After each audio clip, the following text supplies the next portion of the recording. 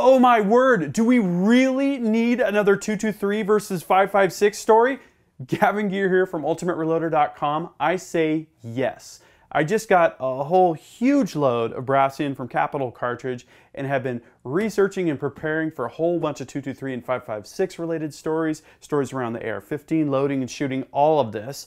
And I found a ton of misinformation and I found some big gaps in the information that you need to fully understand this problem domain. So in this video, we're going to give a brief history of the development of this cartridge and the corresponding AR-15 and M16 rifle platform. We're going to talk about differences in chambers, differences in ammunition, safe interoperability guidelines, reloading. Let's get to it. In the 1950s, through an organization called CONARC, the U.S. Army outlined the requirements for their next generation modern rifle platform. These requirements included a 22 caliber projectile, supersonic bullet velocity at 500 yards, a net rifle weight of 6 pounds or less, a magazine capacity of 20 rounds, select fire for both semi-automatic and fully automatic use, penetration of a U.S. steel helmet on one side at 500 yards, penetration of 135 thousandth of an inch steel plate, that's about 10 gauge, at 500 yards, accuracy in ballistics equal to M2 ball ammunition, that's the 30-06 ammunition used in the M1 Garand, and wounding ability equal to the M1 carbine. This wasn't just about the rifle, this was about the rifle and the ammunition that would be used in it. And that's what led to the joint development of the 223 Remington ammunition and the AR-15 rifle platform that would be adopted by the U.S. Army as the M16. While Remington Arms took a lead on the ammunition side, Eugene Stoner and Armalite Rifle took a lead on the rifle platform side. But this was a truly joint industry effort. The industry working together to help satisfy the requirements that the Army had outlined in the 50s for the next generation rifle platform. So, in 1963, Remington introduced their civilian version of the ammunition outcome from this effort, 223 Remington. A year later, the Army adopted the Army version of the AR-15 rifle platform, called it the M16, with full auto and semi-auto firing capabilities, but they didn't specify 223 Remington ammunition.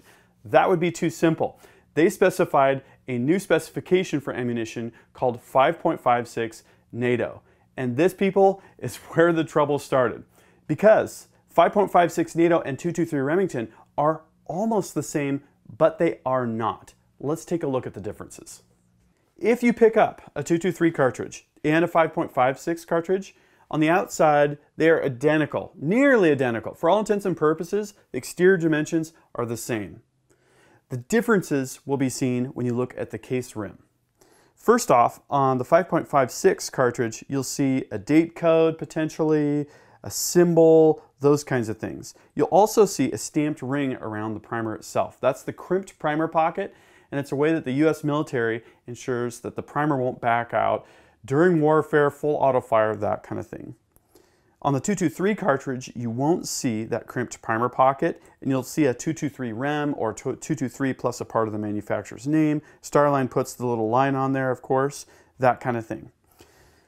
But what about the case itself? If you look online, you'll see that 223 has a working pressure rating of about 55,000 psi, while 5.56 has a working pressure specification of about 63,000 psi. So the 556 brass must be thicker and stronger, right? Wrong. It has more to do with how pressure testing is done than it does with the actual working limits of pressure between these two cartridges. The SAAMI methodology, which is what 223 Remington abides by, uses what's called a conforming line on the case. A hole is drilled right where that conforming line is, and pressure is measured through a port via a piezoelectric transducer. This gives a very accurate reading of pressure over time as the bullet starts to move and as it goes down the bore, that kind of thing. With the 5.56 cartridge, the military uses a couple different methodologies for testing. The first is EPVAT. Now this type of testing involves a pressure port, a hole drilled forward of the case mouth. And that makes it very easy and quick to take measurements and to do that type of testing because you don't have to drill through the case itself. You don't have to make sure everything's lined up, that kind of thing. But peak pressures are higher. The readings are higher, even with the same equivalent cartridge. And the actual noise level in the pressure measurement, the fluctuation that's just due to the dynamics of the measurement is also a factor and that has to be filtered out as well. Along comes a second methodology, SCATP. This is more similar to the civilian SAAMI method for measuring pressure. A hole is drilled through the case, it's in about the same location, and guess what? The SCATP specification for 5.56 ammo is about 55,000 psi. So at the end of the day, these cases are very similar and, and all else being equal, they're virtually identical and interoperable. The cases themselves. I've weighed a whole bunch of these cases and I've found 223 that weigh more, I've found 5.56 that weigh more, but their differences have more to do with how they're certified and tested than with the actual cases themselves. Where there is a big difference is the chambers 5.56 chambers and 223 Remington chambers are different. Let's take a look at how that looks on paper. So after doing a whole bunch of research and consulting with multiple industry partners, I came up with this summary of the differences in chamber dimensions between 223 Remington and 5.56 NATO. Just know that every reamer manufacturer is going to grind their reamers to the specifications they feel best represent these guidelines, and every rifle manufacturer is going to tweak things just a little bit, and then there's all of the hybrid chambers. Let's walk through the numbers that I came up with. You can draw what conclusions you will. So this diagram represents a cross-sectional cutaway of your rifle's barrel and focuses on the chamber dimensions, specifically the differences between 223 and 556. Starting at the back, the base diameter for 556 is about 2 thousandths of an inch larger. The shoulder diameter is about 7 tenths of 1 thousandth of an inch larger. From the base to the shoulder plus 4 thousandths of an inch for 5.56 from the base to the front of where the case mouth would be, about 3 thousandths of an inch longer on 5.56.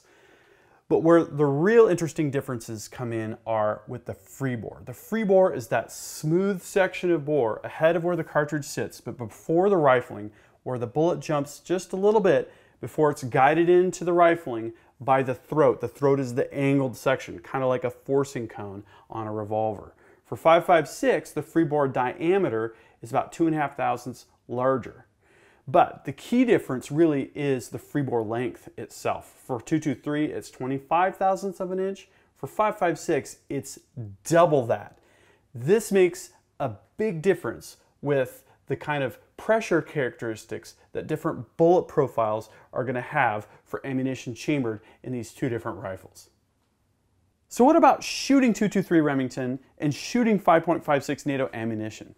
Two different cartridges, a bunch of different variant chamberings. What's the interoperability story?